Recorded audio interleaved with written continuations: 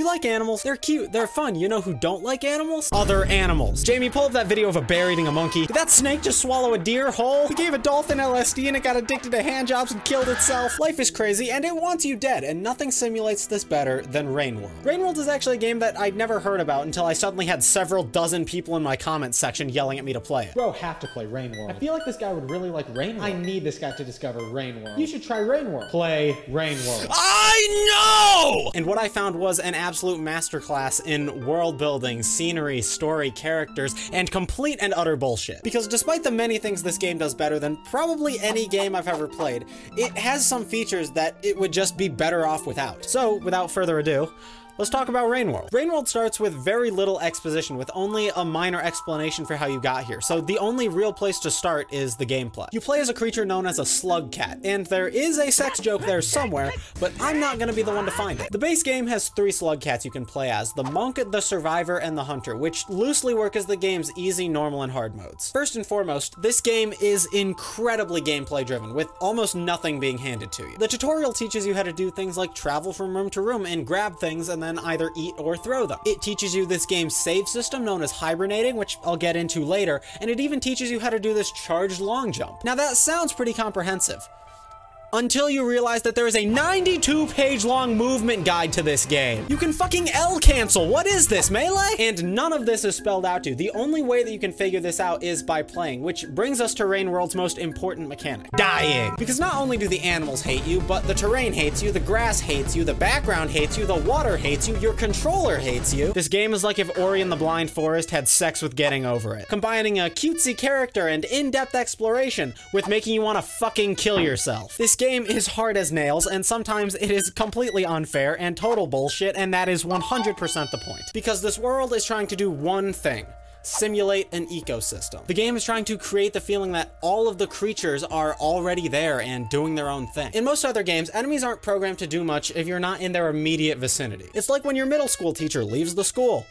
They just stop existing. And even when they are, they're usually going through pre-programmed positions, idle animations, and actions. And no matter how difficult those positions are, it'll eventually become easy for the player because it's predictable. Repetition breeds simplicity. But Rain World has enemy AI moving for rooms around you. So maybe you're just trying to get some food and you come out of a pipe and find that a vulture's already flying away with a tasty lizard treat. That encounter isn't a pre-programmed moment, it's the result of the AIs coming into contact with each other. And that makes it so that the exploration in this game is constant constantly changing. You can never feel 100% safe in a route through an area because the other animals are constantly moving and changing location. But what this also means is that sometimes your biggest enemies can also be your saving grace. Save me, Henry Kissinger!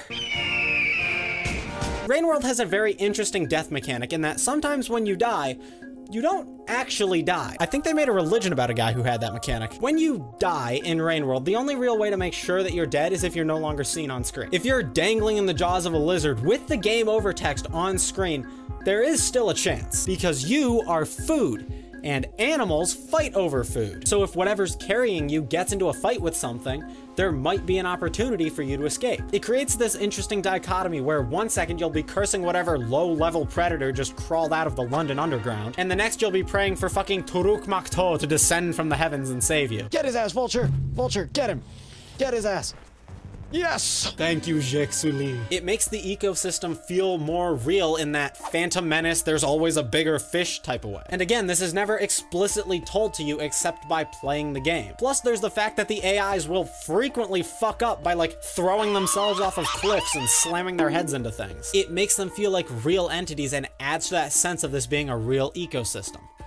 It also makes them feel a bit like Wile E. Coyote. There's also the fact that each of the enemies are unique and have their own ways of going about the world. There are scavengers who have their own relationships and communications and their own complex reputation system that can determine whether they help you or attack you on sight. The vultures, who are pretty much the apex predators, will swoop down from anywhere that there's open sky and grab whatever they can see. And when they show up, the other predators will disregard you and do their best to flee. To the point that if you get your hands on a vulture mask, the predators will flee from you because they'll assume you took out the baddest thing out there, MF Doom. But the best example of this, in my opinion, is the Gay Pride Lizard Gang, with each of the colors not only having their own abilities, but each having different temperaments and ways of going about the world. Some got way too into the Dream SMP, while others listened to Pink. For example, green lizards can't climb things but are fiercely territorial, which causes them to attack lizards and other creatures that approach them, which is different from the yellow lizards who work in a pack, being able to communicate using the antennas on their heads, where if one of them sees you, then all of them now know where you are, which is different from the white wizards. White wizards. Gandalf! Which is different from the white lizards who crawled out of the pits of hell. Fuck these things. Which means in situations where more than one color is present, you need to account for the different abilities and behaviors and plan accordingly. However, while these aspects are what make the game unique, it's also what turns people off of this game. It's what leads to the harsh difficulty and outright unfair scenarios that can only be called total bullshit. And I did say this game has flaws, but this is not one of them. If you're frustrated with the game for being unfair, that's not the game's fault. That's yours for misunderstanding what it is. This was me for about the first five hours of playing this game. I was miserable because I thought it was a 2D adventure game, but it's not it's an immersive sim. An immersive sim is, to give a short definition, a game that presents the player with an objective or goal, and then gives them multiple systems that work together as tools to meet that goal or objective. There is no correct way to beat a challenge so long as you get past it. And once you finally begin to view the game like this, the world truly opens up for you. For example, if a lizard's coming at you, you could try to outrun it or even fight it. Or you could bait it through a tube and then come back through to where you already were,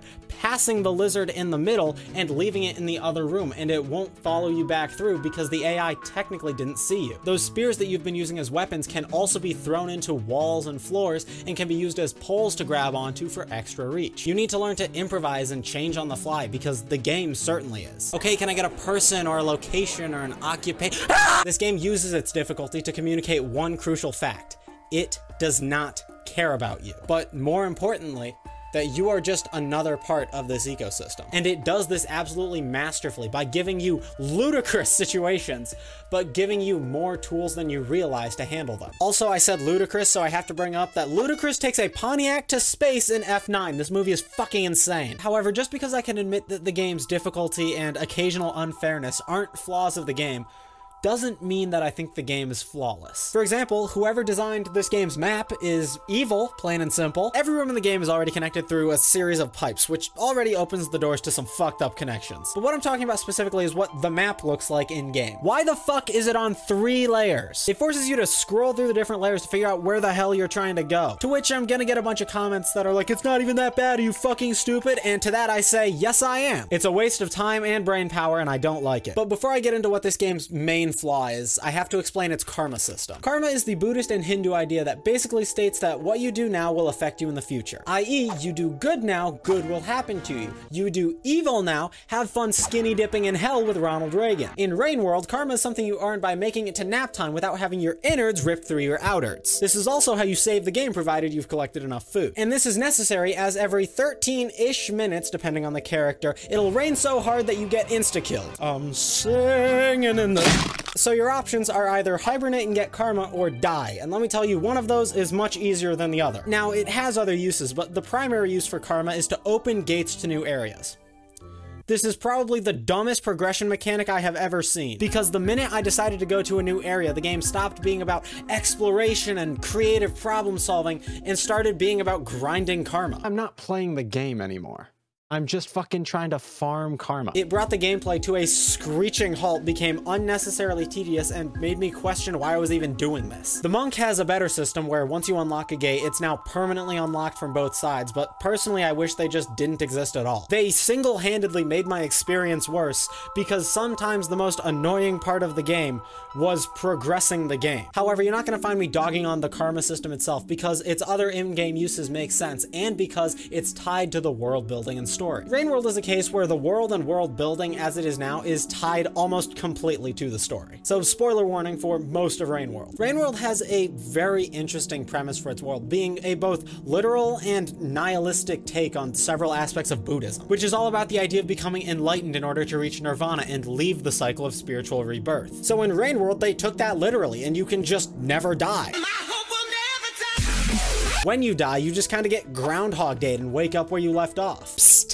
That's also their in-game explanation for save points. Like, a long-ass time before the game happens, there were these dudes called the Ancients, and we don't know a ton about them. Ah, better known as Senators. But what we do know is that they couldn't fucking die and they really wanted to. Ah, better known as Senators. So basically, the entire planet was trying to Heaven's Gate themselves and meet the aliens behind the moon, which led to this interesting scenario where people were trying to shed their earthly ties and basically find enlightenment in an attempt to, in the words of Hamlet, shuffle off this mortal coil. That is until they started drilling and eventually found oil. Did you say oil? This just in, the United States of America has begun conducting special operations on the planet known as Rain World after claiming they could possibly be hiding weapons of mass destruction, more at 6. Well, technically it was a substance known as void fluid. Aww. This just in, the United States of America has extracted their forces from Rain World and Al-Qaeda has taken control of the region. Void fluid has a couple of uses, but the most important is its ability to kill people without them having to shed all of their earthly pleasures. Sometimes. Yeah, I guess they threw like Andrew Tate into the void fluid or something because there were some people whose egos were so big that they couldn't ascend completely and sort of just left behind a stain. Yeah, the ancients didn't love the idea of becoming a grease spot on the universe, so they outsourced the solving of this problem to AI. They built a bunch of giant supercomputers that would make Linus Tech Tips combust called iterators to essentially act as monkeys chained to typewriters for forever and waited for them to write Shakespeare, giving them the goal of trying to find a portable and mass applicable way of ascending every living thing on the planet A byproduct of these iterators is that they got really hot and needed a ton of water to cool themselves down, otherwise they would like melt into toxic sludge. And so those massive amounts of water would evaporate and eventually come down as incredibly heavy rainfall, which is such cool reasoning for why the rain is as heavy and dangerous as it is, and is just phenomenal world building, parentheses, he says in an aside to the audience. But the ancients realized that forever is a very long time, so they all fucked off and left a bunch of supercomputers solving what came to be known as the Great Problem. However, the iterators also gave themselves the mission of trying to find a way to ascend themselves. Except that all the iterators are designed specifically to be unable to self-terminate. For the purposes of this video, there are three iterators who matter for this part of the story. Sliver of Straw, Five Pebbles, and Looks to the Moon. Yes, they are all named like middle school furries. When the iterators were first being built, originally they needed to be spaced apart because they each needed their own water sources. However, once the rain began, the ancients realized that they could put them closer together as water wouldn't be a problem as long as the iterators ran at their normal temperatures. And so, Five Pebbles and Looks to the Moon ended up being built very close to each other, with Moon being built first and Five Pebbles being built after. This will be important later. At some point, Sliver of Straw sent a message claiming to have solved the great problem, and then immediately fucking died. Five Pebbles said fuck this and starts working on a way to kill himself. Using the names over and over again makes me sound like a high school gossip. And then Sally told Lisa. Anyway, it turns out that suicide is kind of unoptimized, and the CPU began to overheat, so he needed to use a ton of water to cool himself down. Under any other circumstance, this probably would have been fine, except that he shared a water source with Looks to the Moon, who began to overheat and take serious damage. Moon asked him politely to stop, at which point he said fuck you and went Badlands chugs on her ass. Moon then asked him less politely to stop, which gave him crippling super hemorrhoids, average Sigma male experience, at which point Looks to the Moon essentially died, kind of, but not actually, very slowly and painfully. And Five Pebbles still has super hemorrhoids. And this is where the world is by the time the game begins, and that's where I'm gonna stop. Now, I think this story is pretty good and is very well thought out, but I think what it does most effectively is set up the world building. I am a total sucker for depressing atmospheres, dead worlds, and lost civilizations. And not only does this game have that, but it has unique reasoning and logic for why things are the way they are. Suspension of disbelief is a sort of agreement that a piece of media makes with its audience. It's the agreement that the media will present you with a set of rules, and the audience will accept those rules, no matter how fictional or unrealistic they are, as long as they are consistent. The entire world of Rain World starts with the basic concept that nothing can permanently die.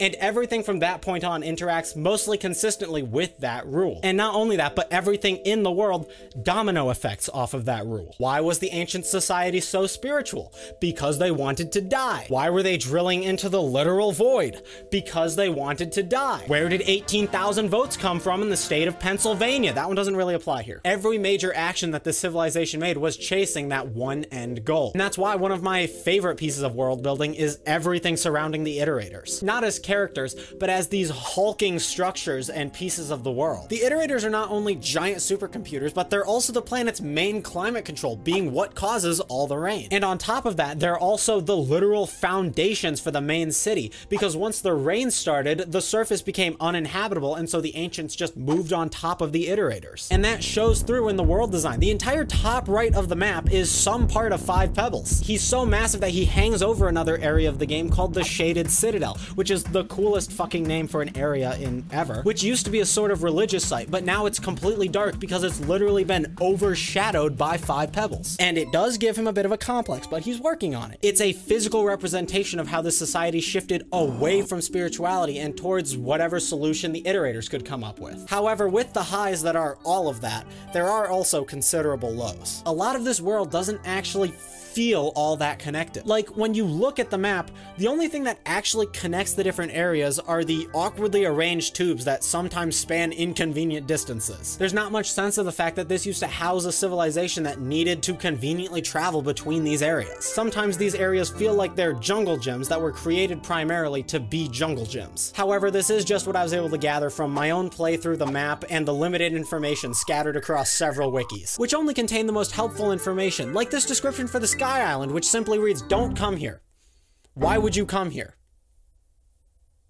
This is the level of information I was working with, so if I have fucked anything up, please tell me in the comments. But speaking of that communications array, the scenery here is absolutely beautiful, which leads me into one of this game's strongest aspects by far, its art style. First, let's start with the characters, because you might have noticed that everything in this game moves like the dudes from Human Fall Flat, or Party Animals if you're too young to watch this video without Subway Surfers underneath it. And that's because this game doesn't use normal sprites like many other games, which are a series of pre-drawn images that are played as an animation. Instead, all of the animals in Rain World are are rigged and procedurally animated, which means that all of this movement is being rendered and moved like that in real time, which leads to the unpredictable and, at the very least, interesting movement from all of the creatures in the game. It's a very neat mix of human-made pixel art and in-game animation that I thought should be brought up. But now onto probably my favorite part, the scenery. This game has some shots that are absolutely beautiful and probably some of the prettiest I've ever seen in video games. I'm just gonna cycle through some of the scenery from this game that I really like. Just about every screen in this game could be a painting in my opinion. Some of the pixel art from both the base game and the DLC